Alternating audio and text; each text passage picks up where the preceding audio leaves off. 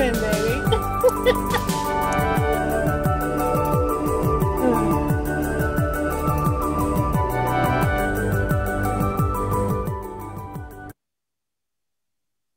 Hello, hello. We're all grooving to the beat of the music that we were just hearing. Yeah. Thank you for joining us today for the first 2021 Conch Shell Productions Artist Chat. And um, let me tell you a bit about me. My name is Magali Coleman Christopher. I'm the artistic director of Conch Shell Productions. And at Conch Shell Productions, if you've never met us before, our focus is to showcase, produce, present new work by Caribbean American and Caribbean diaspora artists. And today, our chat is going to be so off the chain. You're going to be like so thrilled about it. But before we get to the chat, I want to give you a little clue.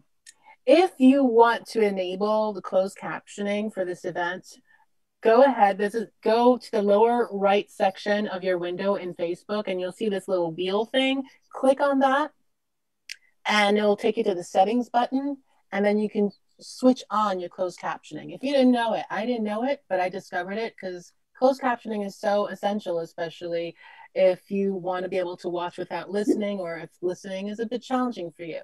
And one more thing before we start write in your comments and your questions. This is a conversation between us artists, but we're, we want to include you. We, only, we can only include you if you put in a little question in there. So send in your questions and we will address them in the course of it.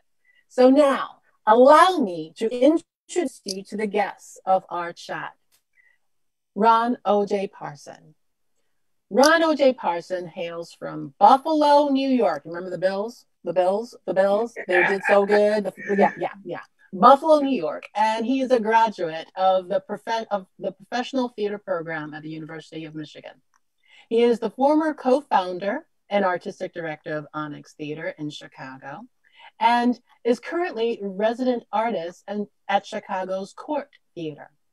Ron has worked as both actor and director in film and television and theater and has directed a, a variety of plays at various theaters throughout Chicago and regionally.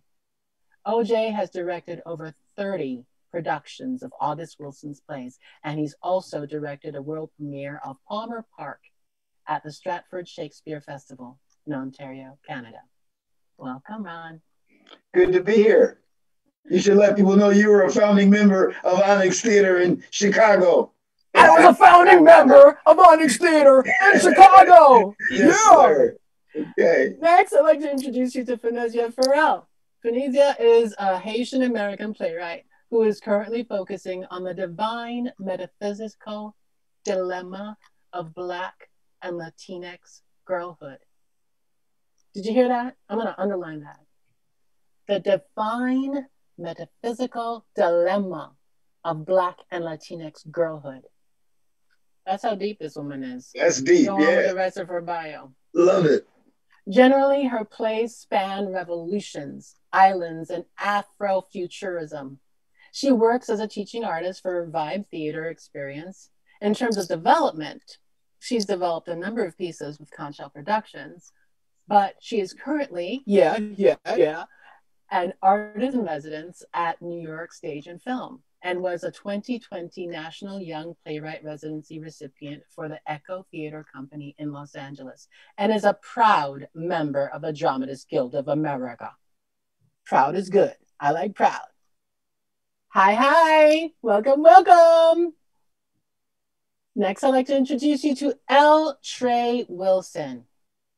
L. Trey Wilson is an actor, director, writer, producer, and facilitator living in Los Angeles. Yeah, I'm in New York. He's in LA. We're going to have snow. He doesn't have snow. Originally, yes, yeah, he's nodding. Yes, yes, yes.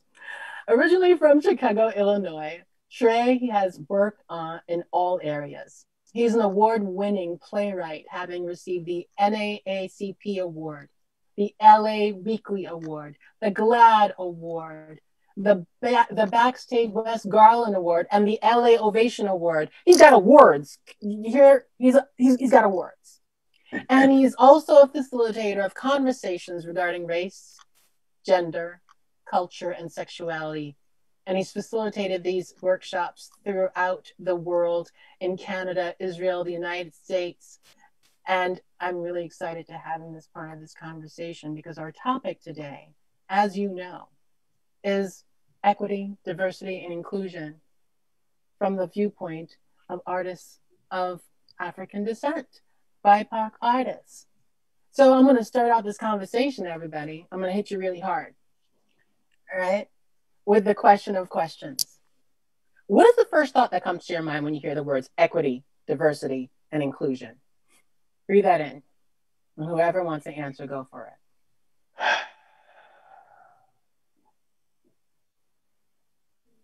Somebody jump in there. Come on now. I was muted. I said money. Money. Money. Money. money. Hmm? Expound upon that.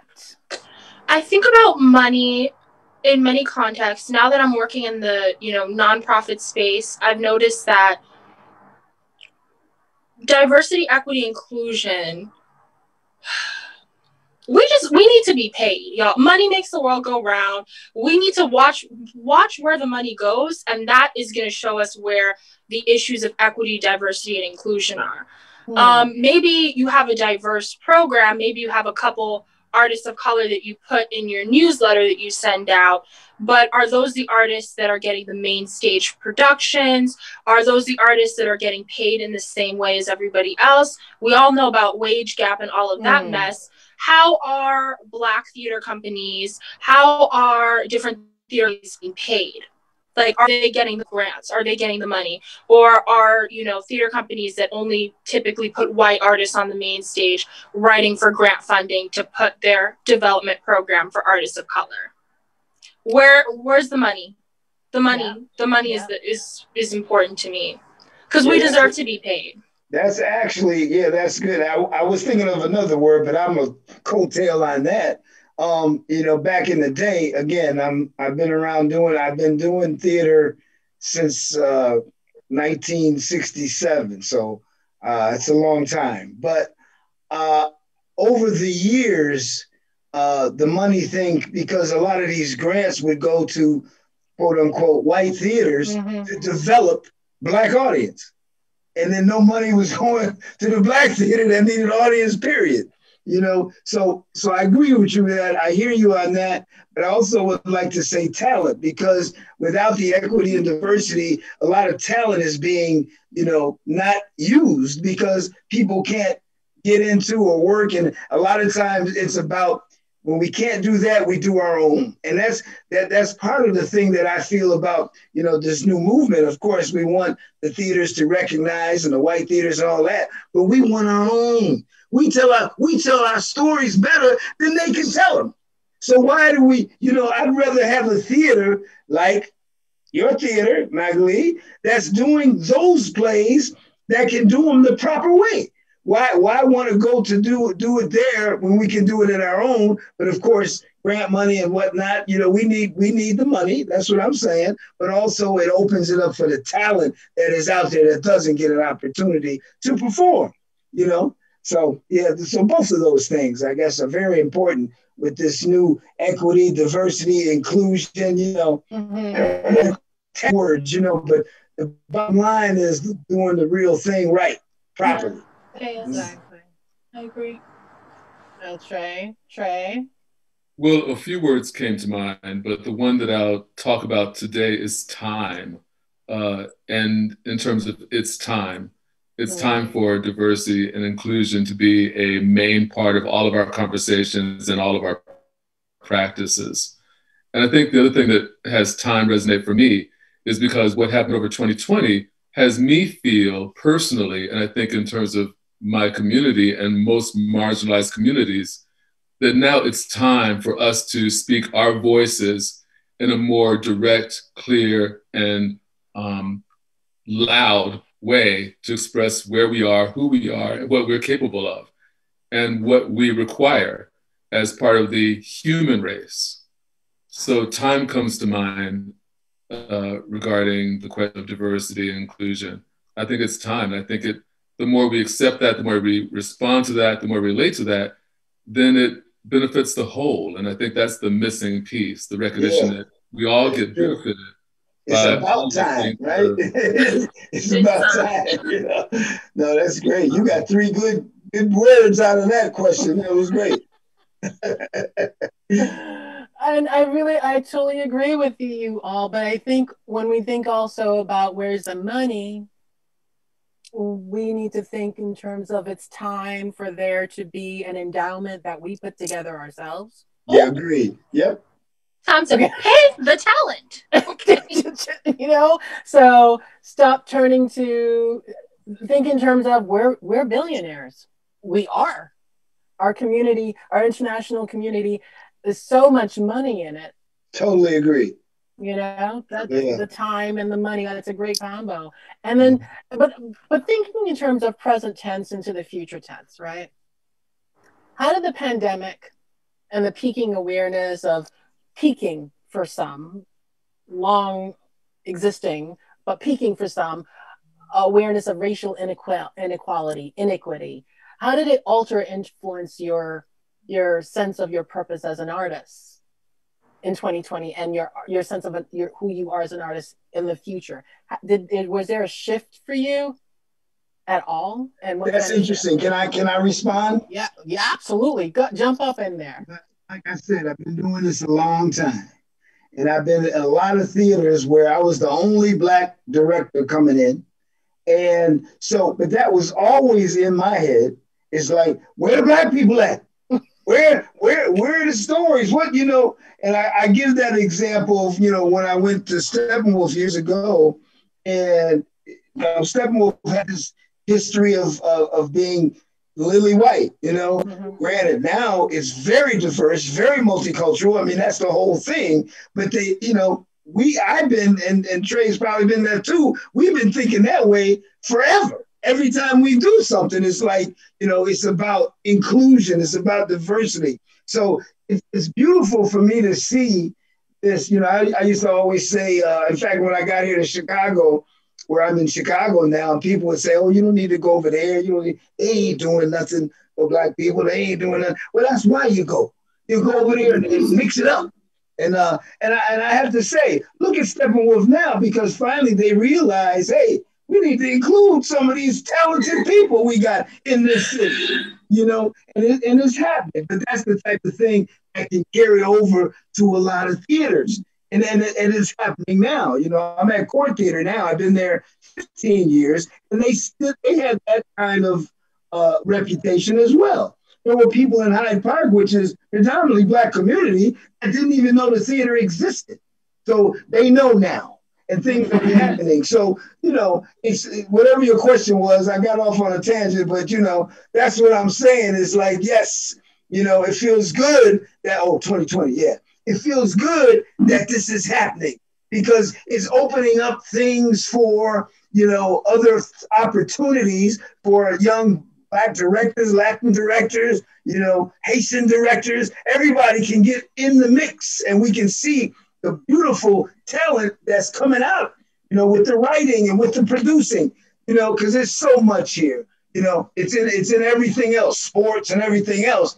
You know, football's dominated. You know, hockey now has got a high high content. Baseball, of course, it should be in theater that way as well because there's a lot of talented people out here. You've always been amazing, an amazing proponent for the artists of color. You've been out yeah. there, out there.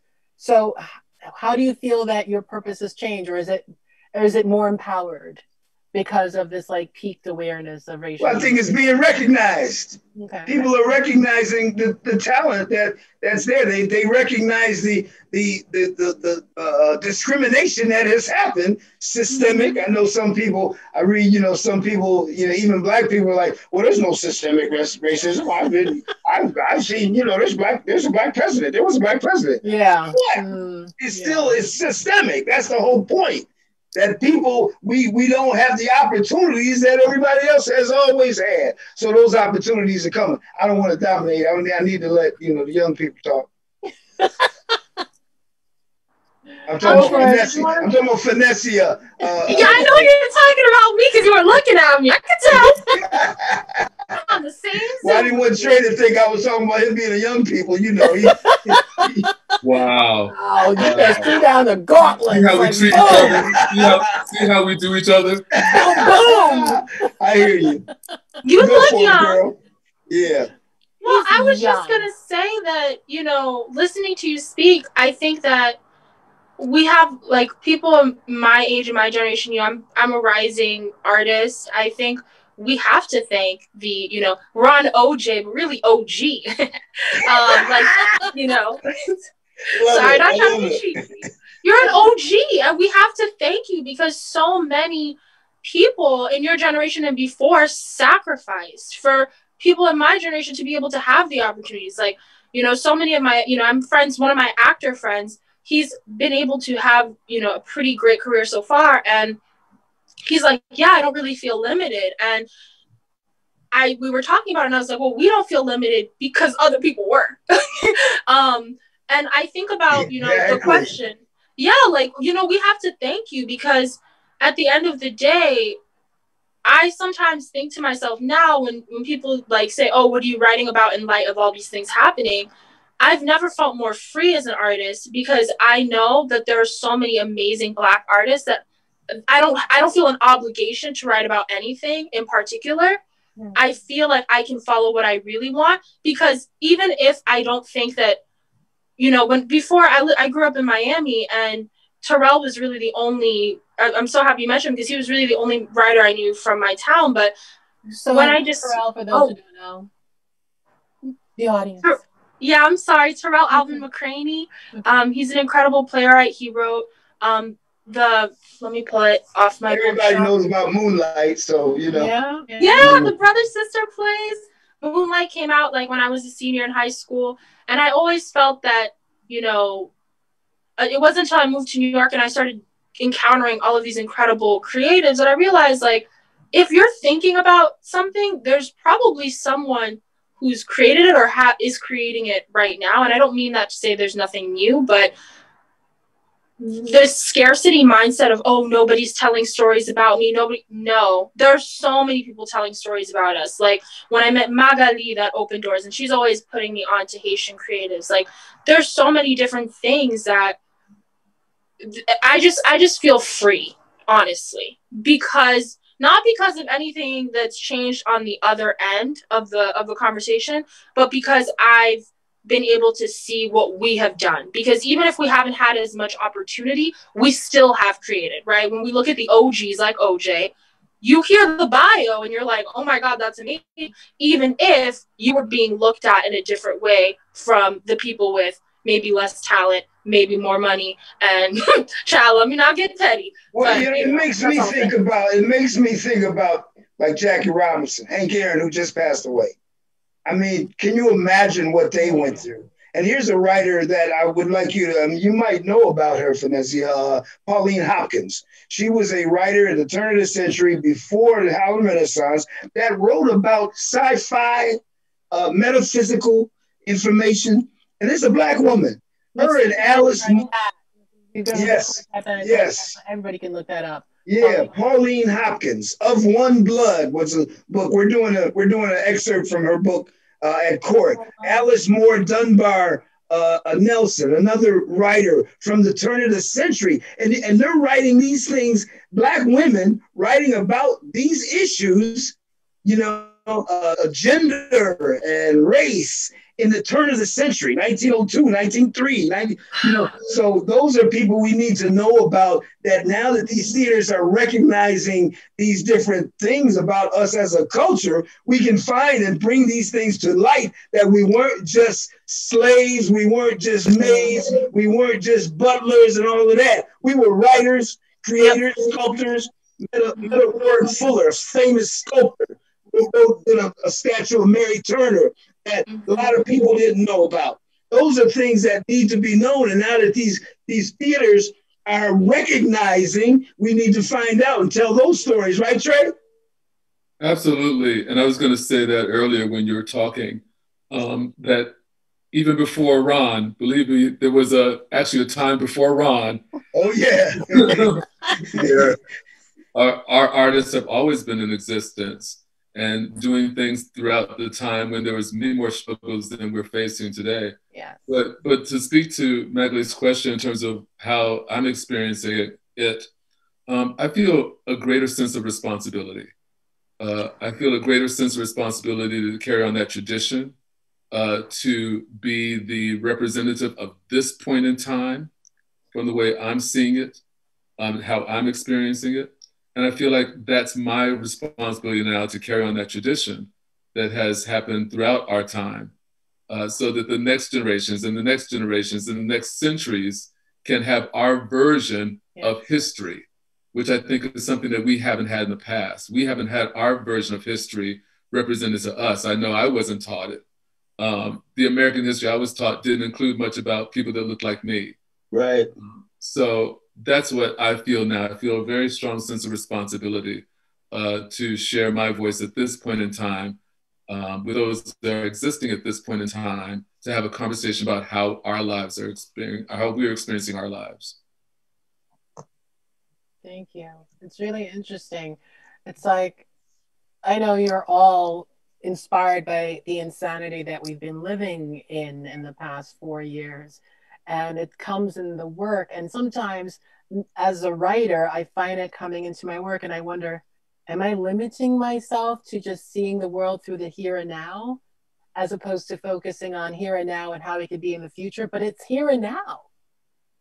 And it's potent and it's, and, and, and, it's instilled with organic drama. How can we help but write to the times and create to the times? Um, and in, in, in terms of the times, I love the fact that you mentioned two writers, Ron. Are there any writers that you, Trey, you, Vanessa, are reading right now and you're thinking, wow, thinking about the future, thinking about now, thinking about the future, thinking about now. This book is really motivating me and, and fueling my creative juices and blah, blah, blah. I want to share it with the world so that they could be fueled as well. Well, um, Ibram X. Kendi's book, How to Be an Anti-Racist, I think is just spectacular. Um, I think that the way he communicates his thoughts and the logic and history and present day and how we're experiencing life and how we experience racism and anti-racism and what that practice looks like uh, I just think is profound. I had to, I have, I can only read like a, I only read a chapter a day because wow. it's so full and so dense and, and resonates so powerfully that I recommend How to Be an Anti-Racist. Yeah, I, have been, I've been looking at uh, uh, Angela Davis, some of her uh, writings, you know, because again, the, like those two writers I mentioned from uh, turn of the century, uh, is making me want to read uh, or more about people who are who are influenced by them. You know, being you know 18, 1800s. I mean, you know, Alice Moore Dunbar, I think she died in 1930 or 1915 or something like that. So all the stuff that she was doing, uh, you know, she had a, a, a publication I think it was called the uh, American. Oh, I can't remember now. My mind is is blown. But once you look it up and you look up Alice uh, Moore Dunbar Nelson, it'll come up all her all her stuff. But she had a publication. I mean, she was writing about black issues at, at the at a time way before the civil rights movement. You know, so, uh, but Angela Davis has always intrigued me. I, I wrote a poem called The Pinnacle of Freedom because I went to see her one time and she used that phrase and it, it just inspired a whole bunch of stuff. I was working on a play and I went to see her and I was like, you know, that, you know, you get inspired like that, you know, and I don't write a lot. I used to write a lot of poetry, but, uh, you know, now I read, I read more plays than books, to be honest, but uh, you know, and still write a little poetry every now and then. But there's so many people that influence us in every facet that a lot of people don't even know about. That's why back to the inclusion thing. These stories can be told now. And we can and we can hear about these people that we we didn't even know about. So it, it's it's like Trey said, you know. And I was just, I was just influenced last night or night before last when I saw uh, Judas and the Black Messiah um, which is a phenomenal movie that is about Fred Hampton, Chicago. And that was fantastic. So where did I you see that? Where did you see it? Where is it? It's on HBO Max. HBO Max. Okay. Um, I, I, was inspired once again, re- referencing Ron a bit. Um, Chicago. Um, it's Chicago, Fred Hampton, absolutely. But then um, I also love watching Viola Davis and oh, Chadwick. I mean, they're phenomenal. Um, so, in Ma Rainey's Black Bottom. So, I think there's so many ways to be influenced uh, by what's happening now with our contemporaries. You know, at, at, first, you know, it was funny because you know they're making the movie and this and that. And at first, though, the the theater purists are like, "Well, what? How are they gonna do that movie? Whatever, you know." But you know, the fact that it got out and it made people aware of August Wilson, you know, it's making people, you know, read about more of his plays. It always amazes me because I've done a lot of August, no, no doubt. But I was at the, I got my vaccine, my vac- vaccine today. You did last night actually, and I was at, in the hospital, University of Chicago Hospital, and I and I was, you know, was passing out cards, Court Theater, right on campus. Has anybody heard of the theater? No, the, camp, the theater right there on campus. And then I said, well, anybody heard about August Wilson? No, I didn't. They, they and these are young black women, you know, wow. and didn't know who August Wilson was. So it always amazed me. But then I told them I passed out some some information. I say, hey, when the theater gets back, you got to come check us out because we're going to be doing two trains running. You know, so that that amazes me. So I think the movie that you brought, in fact, you brought that up with Viola. A lot of people love Viola, and they're going to see that, and they're going to say, "Wow, I wonder if this guy has written anything else." And I know some people tell me they say, "Aren't you tired of doing August Wilson?" You know, and I say, "Well, do people get tired of doing uh, Eugene O'Neill or, or Tennessee Williams or Shakespeare? No, you do great work. You know, how many times has Streetcar Named Desire been done? or Long Day's Journey into Night? People don't say, oh, wow, another Tennessee Williams play. I mean, you know, it's, you know, so you know, you don't. But I'm just saying that, you know, that movie hopefully will open up a lot of people's eyes to great writing and make them read other things and, you know, and learn about our culture that way. Because a lot of the young people don't, we don't, we didn't, like you said, Trey, we didn't learn a lot about our history in a school, you know, and now they are. That's the thing about the movement has made some people want to talk about our culture. And I think that's that's a good thing that's come out of the movement, you know, hopefully even more. How about you, Vanessa? Any book that you are reading that you want to share? Um, I'm I'm like I'm still reeling because I I love August Wilson, but I also love Tennessee Williams. So I felt seen by that comment. I was like, yeah. But obviously, like I think that August deserves as much space as a Tennessee, and so I, I definitely agree with that. Um, lately, I read. I'm pulling from my bookshelf. Um, I've been reading this book called How We Show Up by Mia Birdsong. She's an activist Black woman in Oakland and it's about how we can reclaim family, friendship, and community. And it's rooted in how the American dream doesn't necessarily make space um, for real connection, and how mm-hmm. she would meet people who are, you know, some of the wealthiest people in her town, and they were, you know, starved for real intimacy, and how we can look at queer family and communities of color and alternative ways, like how those communities have found ways to make real connection and family and what we can learn from, um, as L. Trey said, like as a human race. Um, and then the second thing that comes to mind is a book called Patsy. Um, I love this book so much. It, everyone should read it. It came out last year. Um, it's by Nicole Dennis-Benn, who is a Jamaican lesbian who lives in Brooklyn. And the book is about um, a woman who she's about 25 when the book begins, and she leaves her daughter in Jamaica to go pursue the woman in America that she's always loved. And it is such an incredible, it's such an incredible book. Um, I love it so much. And um, yeah, there's so, but I agree with everyone that there's there's inspiration everywhere. Um, I also have been pulling from Zora Neale Hurston a lot lately. Um, in terms of like being rooted. But I feel like there's so much. I feel like I'm always going to be inspired because every day there's someone new I'm learning about, and I'm like, there's only so much, so many hours in a day that I can read. I'm like, there's so many books out there, you know. Yeah. It's like there's not enough hours in the day to read all of them. I've got like four books piled up, and I'm reading them alternately because yep There's only so many hours in a day. Yep. So, what are you guys working on right now? I mean, you're all busy. What are you doing right now? What's keeping you busy? So, uh, I'm uh, writing a pilot, television pilot. Um, and I wrote. I expect to get a phone call. you all should get phone calls. Okay. uh, I'm working on that. I also wrote a play recently that I want to have as a companion piece for another play. I have a play called Three Part Disharmony, which is about three black men being stopped by the police and how they all have different reactions to. Um, but there's another piece I wrote, which is called Word in Question. And that's a play about African Americans having a conversation about the use of the N word, word in question. So both these plays are plays that one's about 20 minutes long, the other's about 30 minutes long.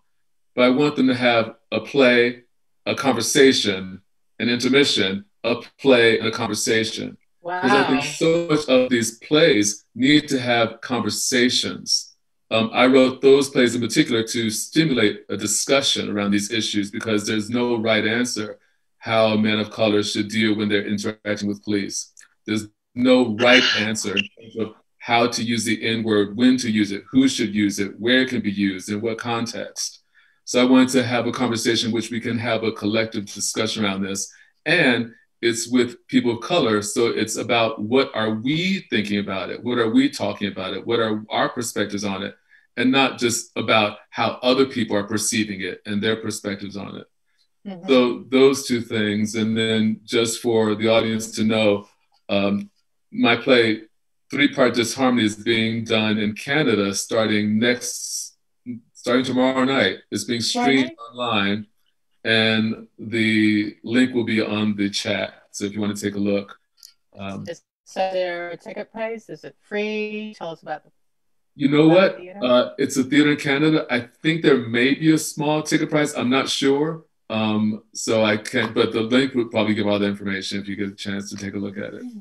Thank I don't. you. I don't see it in the chat. Is it? Did you put it in there already? It's in the Facebook chat. Oh, oh yeah. Okay. So if you can, yeah, it's, yeah, yeah, it's on. Okay, okay, we're we're gonna send it to you via email so you can have access to well, it. What I was gonna say too, as well, is uh, I was involved in a theater in Buffalo when I was, you know, back living back there, uh, uh, called the Ujima Company, and uh, my friend uh, Lorna C. Hill who founded the company and, and we worked on it, I worked with them together, had passed away recently. And the theater is trying to stay afloat. So they're looking, they're doing a, a, a small one act play festival. And I'd like all three of you to send, uh, you know, works that you might think that they might be, uh, you know, if you have some one acts, definitely send. I'll give you the address after we finish this and um, uh, and if anybody else on Facebook or whatever. But I think it'd be perfect opportunity for some of you to get plays done because they are really eager and you know they're they're they're they've been around a long time. But uh, it's just something that I think from just hearing these plays and Magali, of course, I know a lot of your plays and I think that this would be an opportunity to get some some. So what's uh, the give some inclusion, some some inclusion, some. Say it again.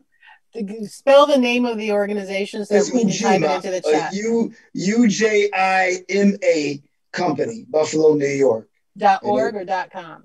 Dot I believe it's dot org. I'm not okay, sure, but if you just put Ujima, it, will come up and Google it, and then everything will come up But uh, they're looking for. It. They're trying to they're trying to keep it going. She she she ran it for like since 1979, and and it's still still going. She passed away from cancer recently, and uh, so I, they don't want to they don't want to die just because you know she passed away. So right. that's something good because that that's the plays that you guys are talking about um, are the things that need to be seen. So I, I'm just trying to pump that up. Okay. What are you up to though, Ron? And thank you for pumping up. Well, like I said, I like I said, Court Theater has been very active. Uh, we we have right. Actually, I'm missing a one of our uh, performances tonight.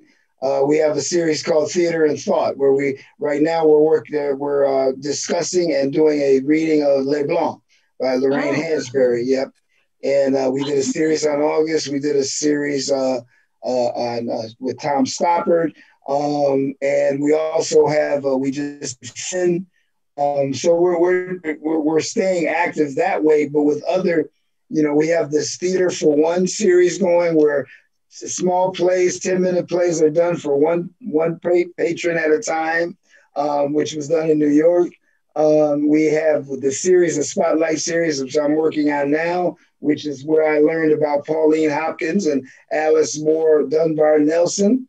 Um, and so those are readings of some of their work over, you know, a very virtual. That one actually is a podcast. But we're, you know, we're, we're staying busy in that way. Plus, we we have a full season of, of virtual plays that are that are coming about. And uh, and then again, uh, I'm doing uh, August Wilson. We're trying to do all ten of the plays, and I've done eight of them there. So we got two more to go. You're gonna and, do it uh, online. You're gonna be doing the. No, we're not gonna do. We're gonna wait till we're back. Herd immunity is taking place before we can do uh, August Wilson because the estate doesn't want virtual versions of of the plays. So, and, and, I can understand that. So we're going to wait till we can. That's why we're not doing it till the spring of 2022.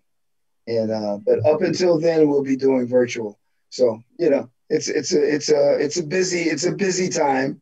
And uh, I'm working on a, a play with uh, Felicia Fields. If anybody knows Felicia, yeah, yeah, she she was a Tony nominated actress from uh, The Color Purple, the original Color Purple, and we're working on a musical about the blues. And so, you know, trying to stay busy.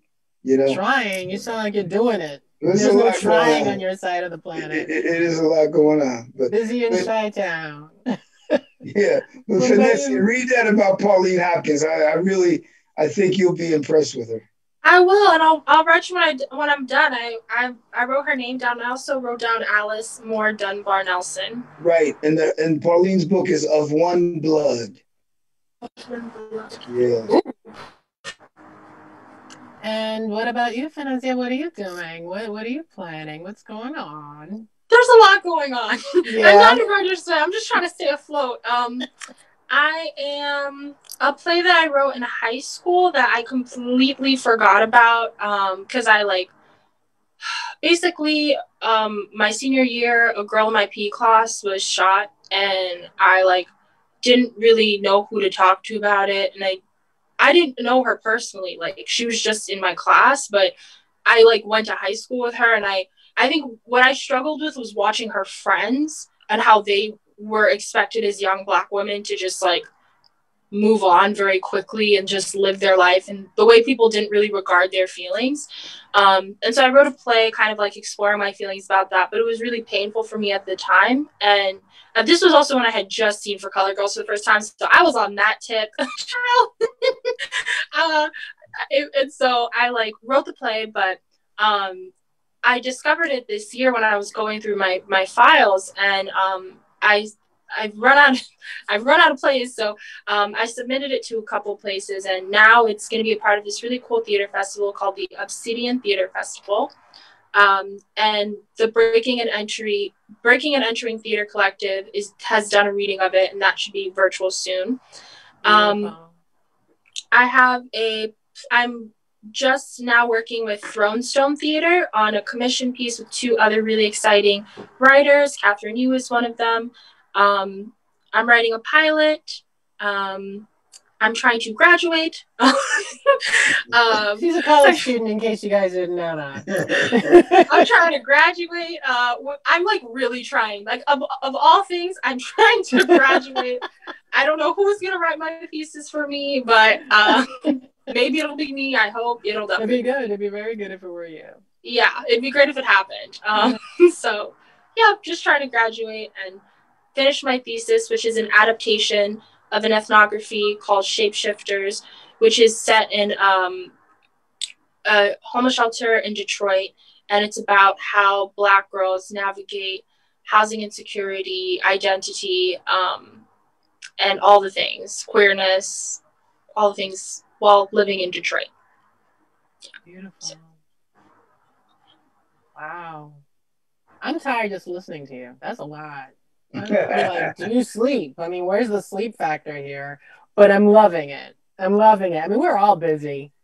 And I really appreciate the fact that you guys took time out to hang out with us and have this amazing conversation. I want you guys to throw out one word that comes to mind when you think about what I want from 2021. Boom. One word. One word. One word. Boom. Boom. I'll throw a word out joy. Mm. That's my word. That's what I want from 2021. Expression.